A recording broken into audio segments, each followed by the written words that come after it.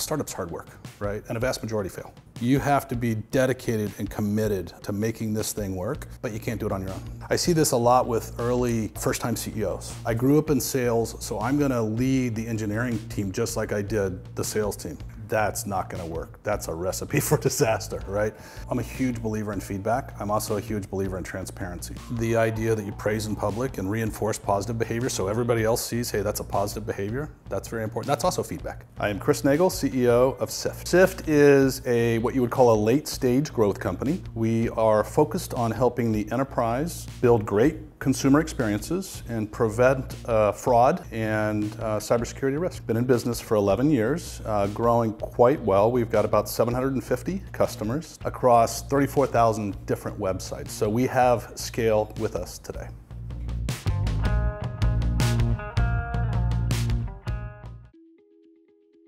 So I was with a company called Vindicia based here in, in, Silicon Valley, and we were acquired by a company called Amdocs out of Tel Aviv, Israel, and they asked me to step into the CEO role. I think probably the single biggest challenge was the cultural challenge. Being a Silicon Valley startup, being now owned by a company in Israel around the world, and how to mix and match those kinds of culture. And I can recall very distinctly my first board meeting with Amdocs. It was a broad group of companies that they own doing the board meeting. And the CEO of Amdocs, he said to me, you need to speak more plainly and more directly if you're going to be successful at Amdocs. It was a great learning experience for me to really talk about what's on my mind in that structure. In Silicon Valley and working in the investors and the venture capital firms, you're kind of walking two different paths, the hope and the dream of where we're going to go and the reality of where we are. And so learning to speak plainly and working through those cultural issues was a challenge, right? After I had left Vindicia, was, I took some time off, looked at kind of what was happening in the market. I was very naturally drawn to the identity and access management space through the introduction of the investors. Met with Andre Durand, who's the CEO. The individual and the device were going to become strategically important to the enterprise. That's why I got interested. I did have questions about, okay, you're going from a CEO role to a COO role. And there have been a few spots in my career where I've made that decision either to step sideways or to step back on title, to have access to a broader opportunity, every opportunity is a chance to learn, right? Key takeaway operational discipline matters. Giving the team room to succeed is incredibly important. I'm a big believer as a leader of hiring the very best people that I can hire that are so much better at their jobs than I could ever possibly hope to be. Setting some context, giving uh, kind of some vision, some context, some alignment, and then letting them be free and go do their jobs. And that's what we did at Ping. There was no way with well over a thousand employees, several hundred million in revenue, that I was going to be able to be involved in everything. If you set the right context, the right vision, establish the right alignment, put a bit of operational discipline in place, wonderful things can happen. So Ping was at a very natural inflection point where we were a public company. I was at a point about that time, I had accomplished what I wanted to accomplish, and I was getting curious about other things.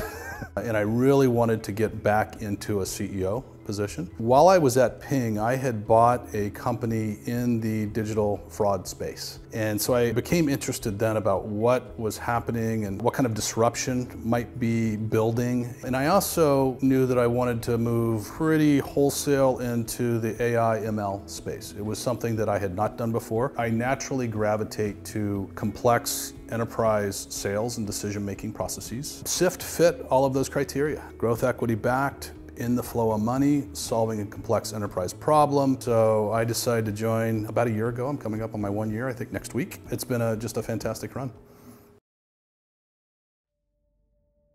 Fraud is unfortunately just the nature of being in business. For tools to get proliferated, for stolen credit cards to be available to users, all of those things happen before the idea of generative AI. As so often is the case in technology, categories go through disruptions about every 10 to 15 years. Is the disruption was really the application of machine learning to solve problems that used to be solved by rules. If somebody came in, they tried to do something, we invoke this rule. Well, the problem is fraudsters move so fast and change so quickly, there's no way that your rules can keep up. So we ingest a trillion events a year across this vast variety of merchants online, the 34,000 websites and apps. We bring in all of this data, we apply the appropriate model, and we are providing essentially a riskiness score of this transaction to the enterprise. Ultimately, we are about providing them control. They get to make the decision about what to do with, with this particular transaction based on their environment and their business needs. You know, leadership style is always an interesting question. Think it is very circumstantial.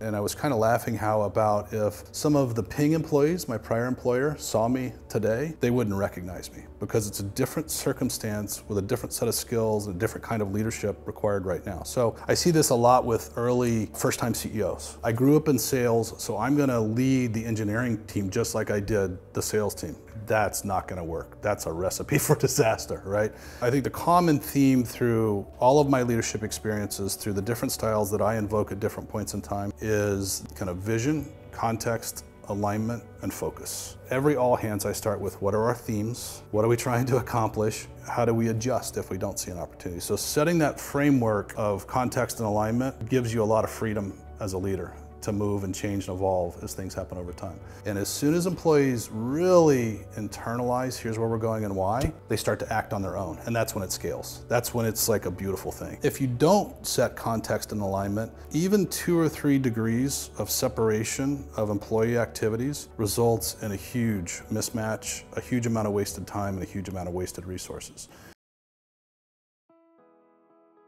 Bad leadership can come from a variety of different places. Emotional intelligence can be a major problem for some leaders, just not understanding the impact of their words, their actions on others. It's often a career capper. You know, I think another one that I see is people not being fair and equitable to the team. Leaders that allow one employee a certain kind of behavior while they don't allow another employee a certain kind of behavior, right? You know, that will often come about a rock star engineer who's a very difficult personality to deal with. And you often have to make decisions as a leader to say, okay, that behavior is not tolerated. And letting those kinds of individuals get away with certain behaviors where you don't let others is a recipe for leadership disaster because everybody sees that. you know, and I think another mistake that I see leaders make, and it sounds a little harsh, but not moving fast enough on difficult decisions around employees. It's a team sport. We all need our peers and team members to contribute equally. The employees know who's not performing. And if you don't address that by trying to help that employee get better, or if they don't get better, moving on from them, that can really slow an organization down. lead, I see leaders often feel like, I can just, I just want to give them one more chance. Just one more chance. I know they're going to get better.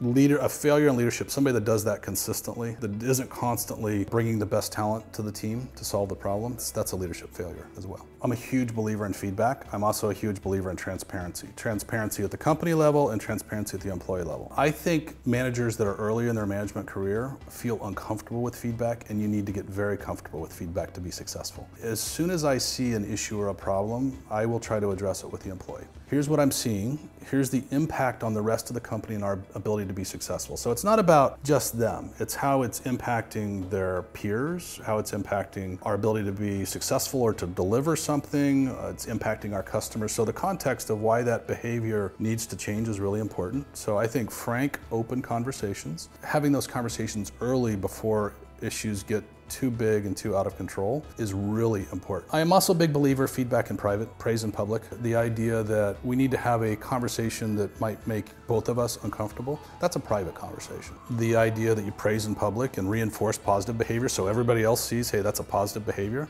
that's very important. That's also feedback. You need to be really comfortable with feedback. We have a whole program inside of SIFT for helping managers develop the skills, develop the courage to give feedback in a positive way for the employee. So I think it's incredibly important as a tool. a startup's hard work, and a vast majority fail. You have to be dedicated and committed to making this thing work, but you can't do it on your own. Through your career, you realize it's a culmination of experiences, successes, and failures. If you don't have those personally, surround yourself by people that do, and then listen to them. You don't have to necessarily agree with them, but I think mentors, coaches that you can bounce ideas off of, try different things on, people that have been at that stage and grown from there, I personally like, and some people will find this more challenging or not, I like people that will challenge me and push my thinking and make me feel a little uncomfortable.